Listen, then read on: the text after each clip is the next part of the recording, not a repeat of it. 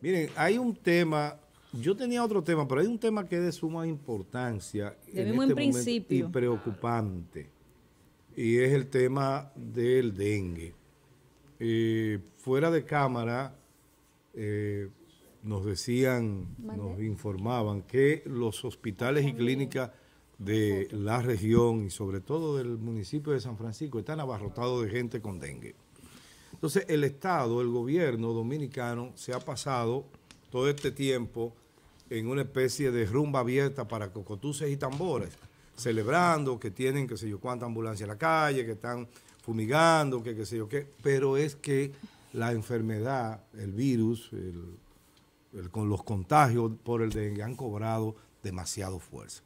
Carolina, tienes unas imágenes y unas informaciones que yo quiero que comparta con nosotros. Adelante. En la tabla está, en el chat de Carolina, ustedes recuerdan que la primera, la vicepresidenta de la República había dicho que en este país, eh, o sea, desmintió, desmintió la información que, o sea, estaban planteando que, que el tema del dengue no es como se ha estado diciendo, que es que los médicos privados, los centros de salud privados no quieren eh, recibir a los pacientes de dengue. La realidad es que la Sociedad de Pediatría Dominicana salió el fin de semana a desmentir a la vicepresidenta de la República. Salió a desmentir al director del Servicio Nacional de Salud, al señor Mario Lama. Estoy buscando la imagen porque quiero poner el texto tal cual y a Luis Rosario, va, mírelo aquí. Vayan rodando las imágenes. Mire cómo está, este tema. Y la realidad es que vemos cada día en los medios niños muriendo a nivel nacional de dengue. Iniciamos con la primera imagen, donde está el texto, muchachos. La Sociedad Dominicana de Pediatría asegura camas pediátricas están abarrotadas por dengue. O sea, estamos hablando que a nivel del país, la realidad del dengue es como nosotros estamos sintiendo y percibiéndola. No es como ha dicho la vicepresidenta de la República, que es que los centros privados no quieren recibir los niños. Ellos evidencian que esto es falso lo que ha dicho la primera dama. Y los que conocemos gente en los centros privados, que es en la emergencia, que cuando usted ve una emergencia, usted ve a los muchachitos detectándole el dengue, que no hay camas y que nos decían acá los médicos que estaban que los están mandando a Santiago. Y que tú veas una información de camino al programa, Yerjan, que murieron dos niños aquí en San Francisco, uno de Cotuí. De, camino a Santiago, que llegaron aquí y los refirieron a Santiago porque aquí no hay espacio para, los, para niños. Y entonces de camino a Santiago murieron supuestamente uno de Cotuí y una jovencita de aproximadamente 11 años también. Miren lo que dijo la Sociedad Pediátrica. Esto es en el fin de semana.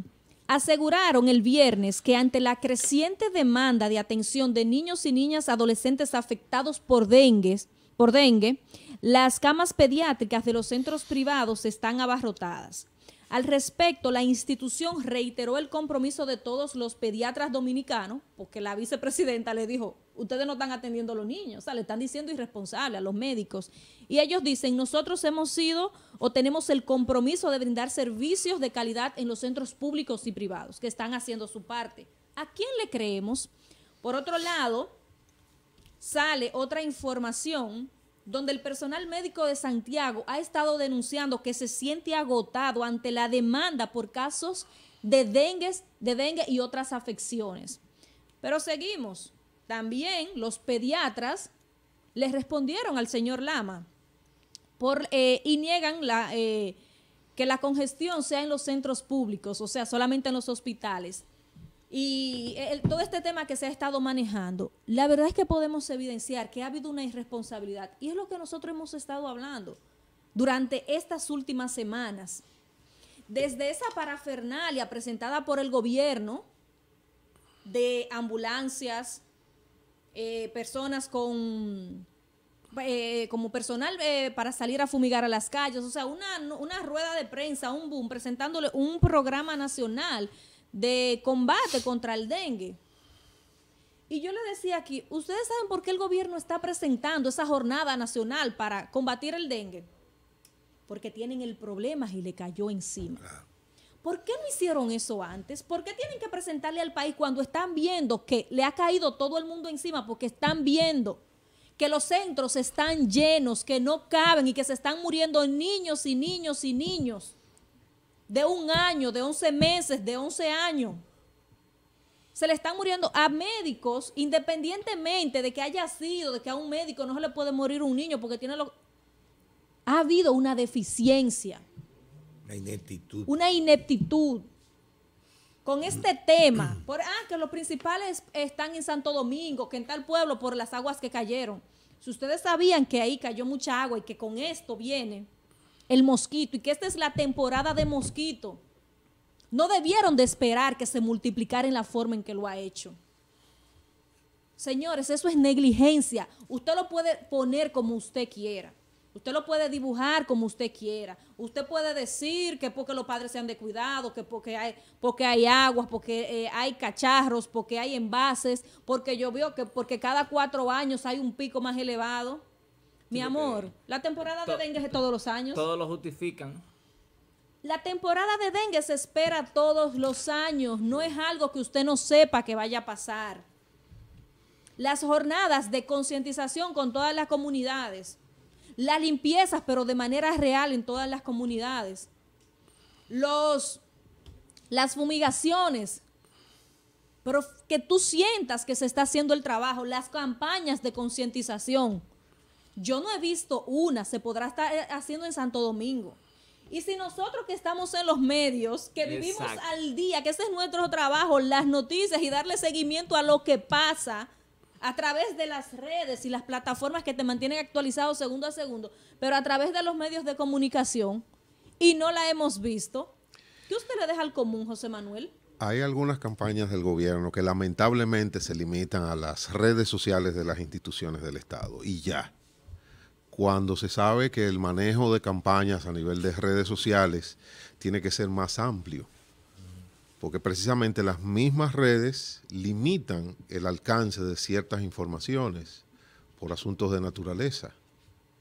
Y es para también eh, hacer que los mismos usuarios, para que se expandan más sus informaciones, tengan que pagar para poder llevar sus informaciones, a ampliar la base de público de, sus posts y de sus publicaciones en redes sociales. Pero pudieran utilizar a, un grupo de comunicadores y comunicadoras que le pagan para subir cosas positivas del gobierno.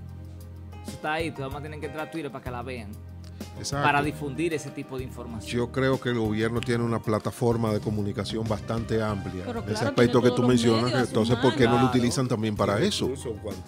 claro, mucho dinero. Muchachos, esto se concluye en una palabra, ineficiencia, irresponsabilidad. Ineptitud.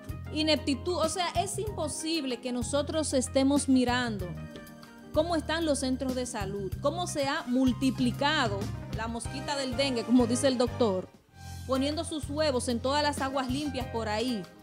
Pero mientras tanto usted tiene que en los centros no cabe un niño más. Ah, que ahora vamos a implementar pruebas PCR para una detención rápida. ¿Y por qué no hicieron todo eso desde un principio? ¿Por qué no presentaron todo, toda esta iniciativa? Toda esta iniciativa de, de impactar el problema que tenemos hoy al principio. Nosotros tenemos meses, ah, que por las temperaturas y que el agua caliente, el mosquito empezó antes.